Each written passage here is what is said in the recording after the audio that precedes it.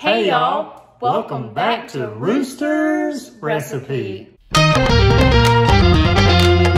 Today, Alex and I are going to be showing you how to make the most delicious slow cooker chicken alfredo. Let's get started. So you're gonna add two boneless chicken breasts. Or about a pound to your crock pot. So you'll need four ounces of cream cheese. And then you're gonna need four tablespoons of butter, all chopped up. You will need three tablespoons of minced garlic. Add a little bit of salt and pepper to your liking.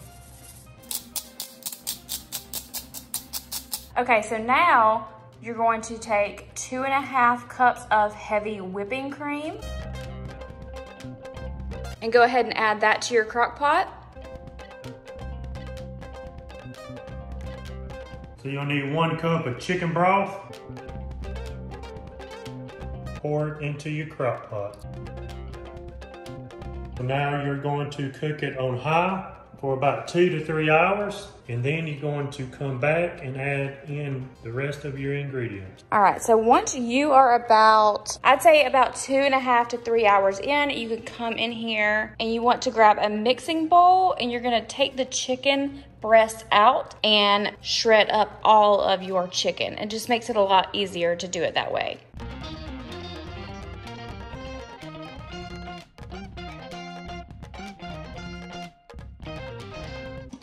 All right, so now you are going to return your chicken to the crock pot. Add about a half a cup of grated Parmesan cheese. And then just take any pasta of your choice and use about eight ounces. So I'm gonna use half of this box and dump it into your crock pot with the rest of your mixture. Now you're going to stir everything together. All right, so after you get everything mixed properly, you want to continue to cook it on high for about 35 to 40 more minutes. And then your chicken Alfredo should be complete. I can't wait to see how it turns out. All right, so I'd say it's been a little bit over the amount of time we would normally cook it, 30 to 45 minutes. There are some noodles in there that did not get all the way covered, so I'm going to put the top back on it for a few minutes, but it looks so scrumptious. All right, I gave it just a few more minutes and this is what we're looking at. Oh my gosh, it looks absolutely delicious and it smells even better. So I cannot wait to taste it.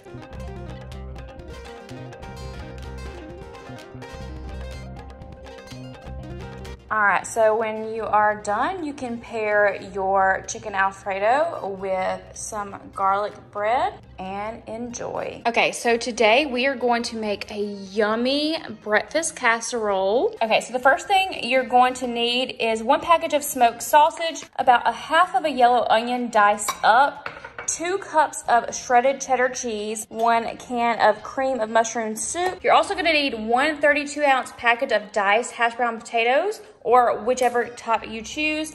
And then I like to add some ground thyme and some parsley flakes as well. So go ahead and dice up your smoked sausage. All right, once you're done dicing up or slicing up your sausage, you wanna go ahead and sit it off to the side. So now grab a medium saucepan, pour in one cream of mushroom soup.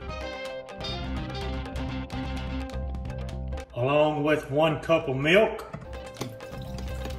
Whisk that well on medium heat for about two to three minutes. All right, make sure you bring it to a simmer. So first to the crock pot, you're gonna add your hash browns.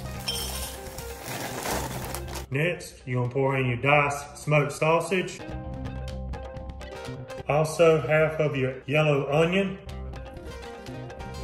and then pour in one cup of your shredded cheddar cheese.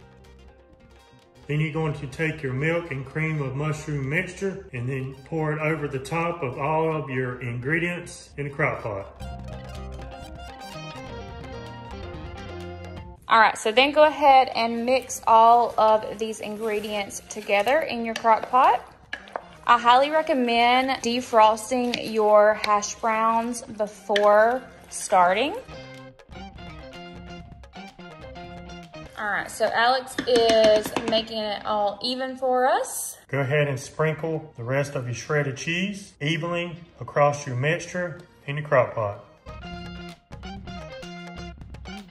And then you are going to sprinkle some parsley flakes on top, about a half a teaspoon, and also some ground thyme, also about a half of a teaspoon. Pop the top on your crock pot. And cook it on high for three hours. Yum. All right, babe, you're gonna stir this and let us know if it's done or not. I believe it's done by now. Oh, Been in there about three and a half so hours. Good. Oh yeah. Oh yeah, yummy. This breakfast casserole is so easy to make and so delicious. Okay, so today on Rooster's recipe, I'm going to show you how to make my very favorite crock pot mac and cheese. This recipe was originally inspired by Trisha Yearwood. So we're gonna get started on that. And if you're wondering where Mr. Rooster is today, he's been really, really busy at work lately. So if you haven't seen him over here on the channel, that is why but I'm hoping he gets home in time for the mac and cheese to be done and give us a little taste test and let us know what he thinks. All right, so I'm gonna start by using a six quart crock pot. I get a lot of questions about this crock pot. It is from Target, it's the Hearth and Hand, and it also is the crock pot brand. Okay, so this recipe actually calls for about eight ounces of noodles, but I just like to add in a little bit more the cheese that I use is more than enough. So add a little bit more pasta. All right, next we are going to add one can of evaporated milk. Next, I'm gonna go ahead and add about a cup and a half of milk. We're gonna add two eggs beaten, a half a stick of butter melted, We're gonna add a little bit of salt. And then of course, a little bit of pepper. And then I'm gonna take about four cups of shredded cheddar cheese. And I'm gonna pour it in to my crock pot.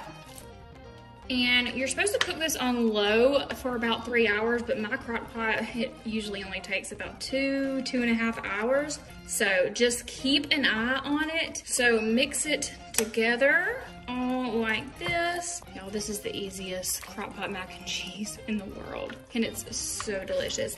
I actually usually like to use shell noodles. I don't know why I didn't today, but it doesn't matter either way. You can use any kind you like. Okay, after you mix everything up, you're going to take the rest of your cheese. You're gonna need a total of about five cups and just sprinkle it on top evenly like this.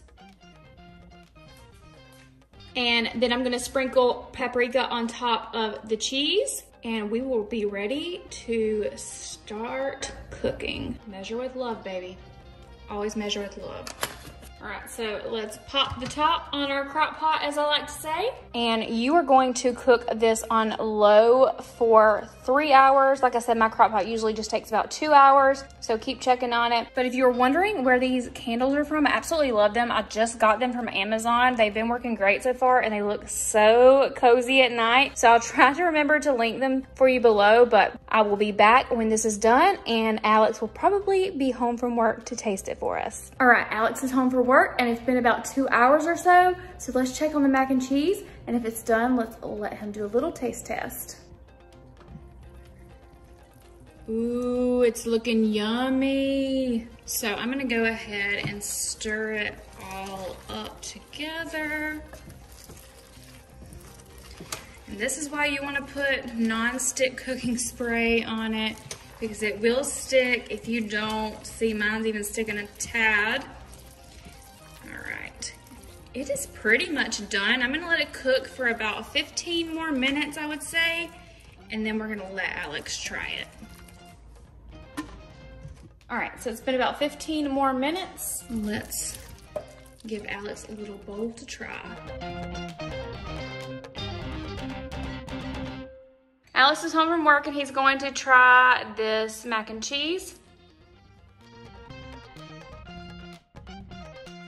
Really good. It's really good? Yes. You like it? Yes, I really do. Good. Very um, cheesy and the noodles are very soft. If the husband likes it, it's always a win for me. Today, we are making Mississippi chicken in the pot roast. Okay, scratch that, in the crock pot, but I thought I would leave that part in because it's real life and it's so funny. So the first thing you want to do for this recipe is add three large chicken breasts to your crock pot. The next thing you want to add is one packet of au jus gravy mix. After that, you want to add one ranch seasoning packet to the crock pot on top of your gravy mix and chicken. Then you're gonna add one stick of butter just to the top like that. And then you're going to add about six pepperoncinis. All right, so I'm gonna pop the top on here really quick. And as you'll notice, I did use a few more pepperoncinis because mine were really small. I opened up a new jar, so the ones on top were small. So we are gonna cook this on low for six to eight hours. And that is all you have to do. So I will meet you guys back here in about six to eight hours. Okay, at this point, it had been about five hours, and I should have probably checked on it before now, but Alex is shredding the chicken, and it looks really good. All right, so Alex checked on it and shredded it up a little bit for us. He's gonna go outside and cut grass. It probably just needs to cook a little bit longer, but it is looking and smelling so so good. All right so it looks like it is done. It looks so delicious. I think what we're gonna do is have this on brioche buns and tortillas. So and keep in mind this is our first time making this. My friend jessica o'donohue makes it all the time and is always bragging about it. So it better live up to her standards. All right so ansley wants her served on a tortilla so that's what we are going to do.